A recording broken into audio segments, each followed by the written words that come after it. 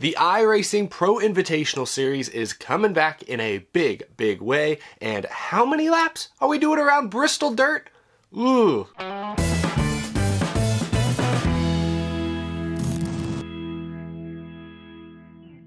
How's it going, y'all? My name is Eric, and welcome to Out of the Groove. Boy, do we have a lot to talk about today. We're talking about paint schemes, we're talking about Bristol Dirt Race concerns, driver announcements, driver debut announcements, and of course the iRacing Pro Invitational. That's the big story here today. The news is not slowing down, so if you're not already, make sure you're subscribed to the channel. Out of the Groove is getting busy over the next few weeks, and then the season starts, and we all know that means business. We're gonna talk about everything today, but first I have to thank our first sponsor of the year, Swann Security Systems is back this year as a major supporter of Out of the Groove. If you're looking for the perfect wired security system that will drive intruders away, look no further than the Swann Enforcer security system. The Enforcer features 4K cameras, flashing lights and sirens, you get live updates on your smartphone, free local and cloud video recording, it's the complete package. And get ready because Swann has stepped up in a big way this year as supporters of Out of the Groove. Look forward to more content and more contests. We'll be giving away some Swann Enforcer security systems this year, so stay tuned for a whole lot more.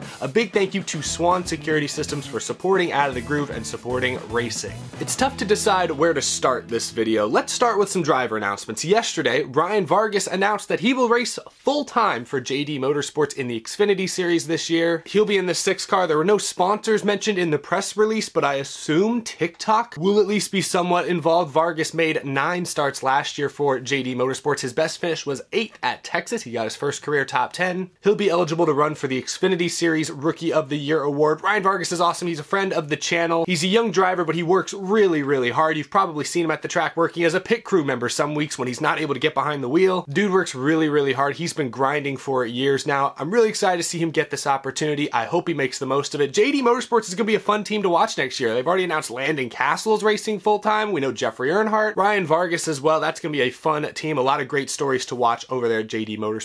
Good luck, Ryan Vargas. Wishing the best for you, man. Today, Joe Gibbs Racing confirmed that Ty Gibbs will make his Xfinity Series debut in just a few weeks. They also announced that Ty Gibbs will run the full ARCA Menard Series schedule this year. He'll run all the races. He'll contend for the championship. Now that he's 18 years old, he is eligible to run at all of the tracks, even the big ones. He will make his Xfinity Series debut February 20th at the Daytona Road Course. He'll be driving the number 54 Toyota Supra for Joe Gibbs Racing, a car that is going to see a revolving door of drivers. They're calling it the Star Car because it's going to have Kyle Busch, Denny Hamlin, even Martin Truex Jr. apparently behind the wheel for a number of races this year, along with Ty Gibbs and maybe others. Really excited to see Ty Gibbs jump into the Xfinity Series. I really think Ty Gibbs is great. A lot of people have asked me, what are some of these young guys in ARCA or ARCA East and West that you're looking forward to?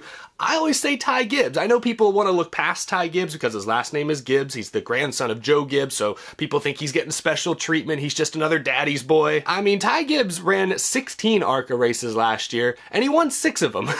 Most of them at 17 years old. So this kid is really, really good. Sure, he may be a Gibbs. He's going to be in great equipment, but he's also very, very talented. And I think he's learning a lot very quickly. He seems very emotionally mature. I feel like I've even just in one year seen him grow a whole, whole lot. So I'm really looking forward to what Ty Gibbs can do this year and in the future. He's a guy that I think could win races in top NASCAR series one day fairly soon. Even though he missed four ARCA races last year because he wasn't old enough, he still finished fifth in the points. Now, part of that is ARCA's not super competitive, but another part of that is he ran really well in the races he was allowed to race last year. So look out for Ty Gibbs. I don't know what to expect from his Xfinity Series schedule this year. It's going to be part-time. We know right now he's only going to start the Daytona Road Course. Other potential dates are TBD at this point. We'll see how it goes, but I am looking forward to seeing Ty Gibbs on track on bigger and bigger stages this year and in the coming year. So good luck, Ty Gibbs. Watch out for him, guys. He's not just a recognizable name. I think he's going to become a very recognizable talent here very, very soon. Let's talk paint schemes real quick. Yesterday, I saw this photo floating around. It originated from NASCAR Reddit. A photo of Brad Keselowski in a Keystone Light fire suit with a Keystone Light paint scheme behind him. Put up at, I guess, like a grocery store or a gas station or something like that on display, seeming to suggest that Keystone Light will be on the two car for at least one race this year. I have to say, well, first let's just talk about the paint scheme. The paint scheme, it looks okay. It kind of looks flat in this photo, just this poster, but I kind of have to imagine how it will look on a real racetrack. I like the blue. This means the blue deuce is back at long last. I like the mountain range on the side. It looks okay. It looks pretty good. Not a bad paint scheme at all, but now let's talk about what this means because, you know, I did like one quick Google search. The brand Keystone Light is owned by the same company that owns the Miller brand. So of course this has to do with that Miller Lite deal. The Miller Lite deal that we all thought was kind of on the way out. I mean, Miller Lite only sponsored one race last year as the primary. It was the Coke 600 and Brad did win that race. But Miller Lite in recent years has slowly declined their involvement in the NASCAR Cup Series. Could this mean that maybe their other brand is making a resurgence? Maybe they weren't getting the return they liked on the Miller brand, but maybe they're thinking the Keystone Light brand will be will be different. I don't know. I'll be shocked if we see this car on track for more than one or two races this year, but still it's good to know that the Miller brand, you know, that whole company is still at least somewhat involved with Team Penske. Good looking paint scheme, was surprised to see it. Let me know what you think of that paint scheme down in the comments below. Another interesting paint scheme I saw this morning, actually. Austin Cindric, of course, is gonna try to run the Daytona 500. He'll attempt to qualify in the 33 Penske car. The 33 in a Penske style font is gonna take some getting used to, but uh, today he revealed his sponsor and his paint scheme that he'll run in that race. Verizon is back in NASCAR. It's been a while. Verizon, of course, is a well-known Penske IndyCar supporter, so not shocking to have them in their portfolio, but we haven't seen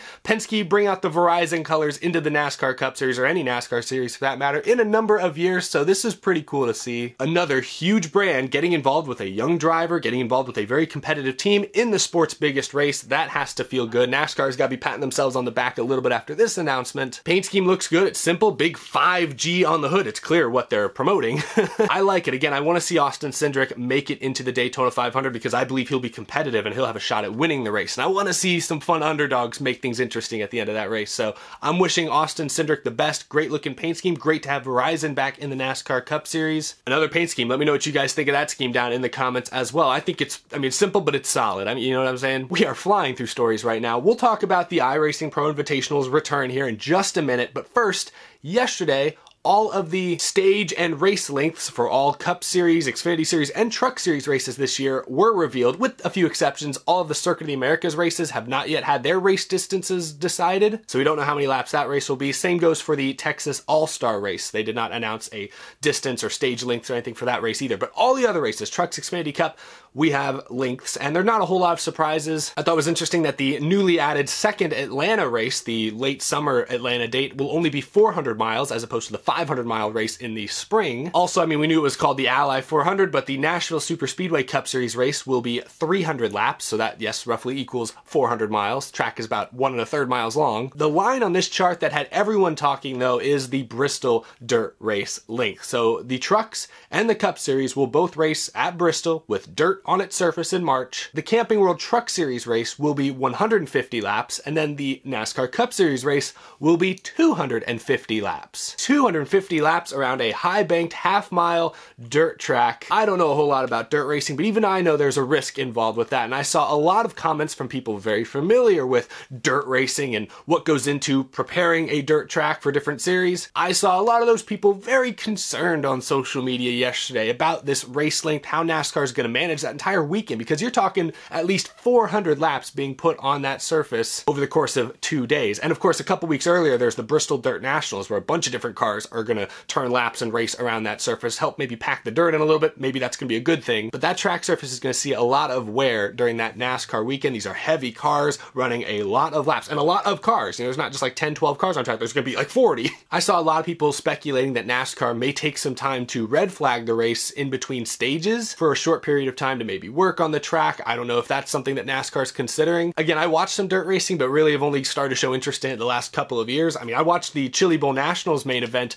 earlier, you know, last weekend, and all I remember is it took them more than two hours to prepare an indoor track, a quarter mile flat indoor track in between the B main and the feature event. Two plus hours of track prep. They are very particular in dirt racing about the racing surface and how it looks because a little inconsistency here or there can completely derail the entire race. You worry about the track being too rubbered in, potentially getting to be too slick. You also worry about, you know, the track not being packed in enough and creates like a dust storm. I mean, there's a lot of things that can go wrong with a race like this, which is another reason why I'm a little concerned about the Bristol dirt race just broadly speaking. I know they've put dirt on Bristol before, but it's been, you know, more than 20 years now, so it's not something they do frequently, not something they have done ever since they changed the track to progressive banking like 10, 12 years ago. So I am a bit concerned. We already know they're removing the safer barriers for this race, which is something that they probably never thought they'd be doing. Now they're going to turn 40 heavy cars loose for 250 laps. I just I still worry there's going to be some unforeseen issue that arises that weekend and is going to turn this race into a bit of a mess. I'm not really,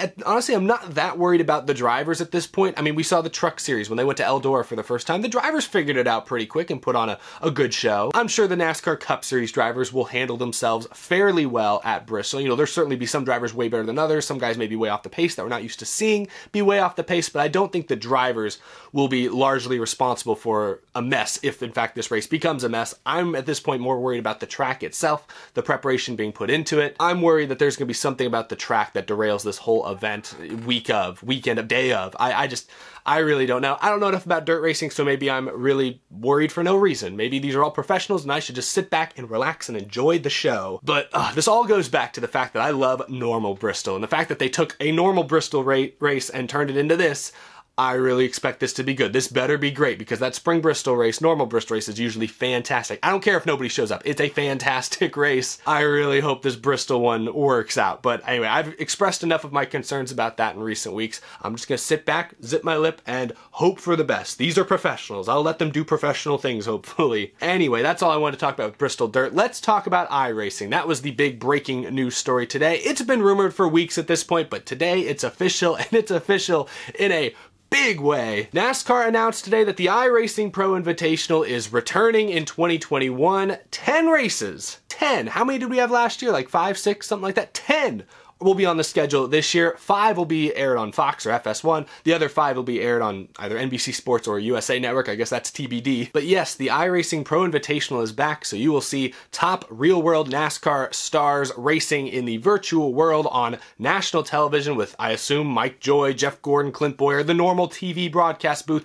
calling the action, much like we saw during the shutdown uh, last spring. It'll likely look very, very similar. Now, today, NASCAR and FS1 only announced the day and times of the first five races. The second five, which will be on the NBC family of networks, have not yet had dates or tracks decided, so those are still TBD. But the first five were revealed. Let's look at the schedule. The first iRacing event will be Wednesday, March 24th at, oh my, I didn't even see, I didn't even look this close. At Bristol Dirt, you're to put guys who already aren't super experienced with iRacing on on Bristol dirt to start. Oh no, I didn't. Even, I didn't see that before I turned on the camera. That is fraught with peril. Now I'm again. I'm worried about Bristol dirt again. I cannot escape my fears. Yeah, that's that's gonna be a mess. Okay, I'm just gonna say right now that race is gonna suck. The the asphalt Bristol race that they put on last year sucked. So I do not have any faith that this Bristol dirt race in the iRacing world is gonna be any good. That's gonna suck. So let's just skip that one. Let's look at the second one. A couple weeks later, they'll race at Talladega. That should be fun. Then Darlington. All right, Circuit of the Americas. They'll race at Circuit of the Americas. That's fantastic. And then the final race on FS1 is still TBD. June 2nd is what they're looking at. You'll notice all of these will be Wednesday night races. How about that? So still bringing back midweek races. All that tells me is that ratings for these are going to suck. hey, during the shutdown last year when they ran these, you know, Sunday afternoon, they were getting a million views on average. That's pretty freaking crazy. I mean, that's like Xfinity Series numbers. That's better than Xfinity Series numbers in a lot of ways. So that was pretty crazy. They're going to be lucky to get half that, I think, this year. Part of it is now that real sports are back, the charm of iRacing, I think, is not quite what it was, but also running it on Wednesday night as opposed to Sunday afternoon. Now, I, I don't have a feeling these are going to bring in quite the fantastic numbers that the original Pro Invitational did, but hey, kudos to them. At least they're trying midweek racing out. That's something fans have been asked for. This is kind of bridging that gap. So I'm all for trying it. I like it a lot. Um, as for the schedule, of course, they don't know what that fifth race will be, but uh, I think Talladega, Darlington, and Circuit of the Americas will be great. I like that they're doing Circuit of the Americas right before the actual Circuit of the Americas weekend. Will help build up hype for that historic weekend. Uh, I think Bristol Dirt is going to be fraught with peril. That will maybe be one to skip. It's a shame that's the first one. You shouldn't have started with that one, guys. No, uh. I know that a lot of Cup Series guys have really bought into iRacing in the last year, and not just for the Pro Invitational. A lot of Cup Series drivers are racing it in their spare time, so they've probably gotten a lot more practice on the sim. They'll probably be largely better than they were in the spring of last year, but I, I still don't have faith in these guys running around Bristol dirt on national TV. That's a bad that's a bad one to start with. What were they thinking? Hey, it's cool at least that they can race Bristol dirt in the sim. I mean, that's again this the whole purpose of this, or at least one of the big purposes of this, is to showcase the technology itself, and that's pretty awesome that you could do that in iRacing. The other big thing is this is supposed to showcase driver personalities, and it thrived at doing that last year. I hope they do a great job of it again this year. I hope they're able to still have fun in the broadcast booth. Other drivers play along and have fun with it as well. I hope it still is a lighthearted thing. I'm worried it won't be just because it's going to be taking place during the real NASCAR season. It might feel more like a business. So we'll see how drivers react to now having to work on a night off, more or less. We'll see how that goes. I love that they're bringing the iRacing Pro Invitational back. I do think the fact that they've committed to 10 races and, you know, they're doing them every couple of weeks, it looks like, until at least June. We know the NBC portion will take over after that. So the idea is that they'll be doing these races into, you know, probably September, October. Maybe they'll try to wrap them up before the playoffs start. I don't know. But the fact that they're going to be doing these late into the season and we already know practice and qualifying in the real world are largely canceled for the year. I think there's going to be eight races that have practice this season. Most most of them being at tracks that are new to the schedule. So I worry there are going to be fans that grow to resent the iRacing Pro Invitational as we get later in the year, as fingers crossed, hopefully a lot more parts of the country begin to open up. Life maybe goes somewhat back to normal, you know, from a couple of years ago. We might start to see full stands again at some point this season. And if we still see full stands, but no practice and no qualifying, but we're still doing this iRacing thing, there's going to be some fans that are a little put off by that. Because remember, that's a large reason why they're doing this Pro Invitational is to appease the networks. Fox and NBC are a little upset that they can't show qualifying and practice. Those were ratings wins for them in the past. They can't show those. They can't sell ads for those. So to make up for that, NASCAR said, we'll give you some iRacing to show on TV. And NBC and Fox are eating that stuff up. But fans, I'm worried, will not eat that stuff up, especially, especially once we get later in the season and hopefully fans are able to return to the racetrack in large numbers again. It's just people will begin to resent it, I think. I, I feel like I will, quite honestly. And I like iRacing a lot, but even I might get a little tired of it by the end of the year. I'll be, I'm already itching for practice and qualifying to come back.